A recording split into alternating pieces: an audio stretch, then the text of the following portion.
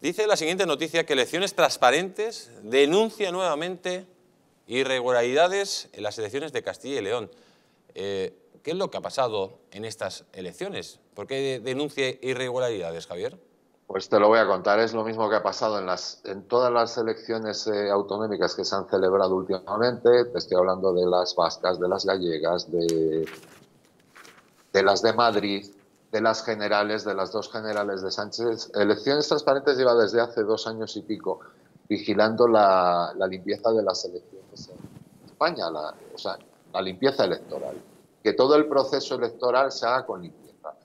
¿Por qué? Porque no cuadra, no les cuadraba, como no nos cuadra a nadie, porque la verdad es bastante increíble que una vez se cierren los colegios electorales, al poco tiempo ya se tengan resultados de las elecciones. Poco incomprensible porque, hay, que contar las hay que contar los votos, etcétera. Pero pasa una cosa, que los miércoles, los miércoles después de las elecciones, hay, la Junta Electoral Provincial o Central de cada zona se reúne para hacer lo que se llama el, recuento general de las actas, es decir, comprobar que lo que se sucede a la noche electoral cuadra con las actas electorales, comprobar que lo que nos dice Indra a la noche electoral cuadra con, esa, con las actas que, tienen. ¿Qué pasa? Que no se cuentan.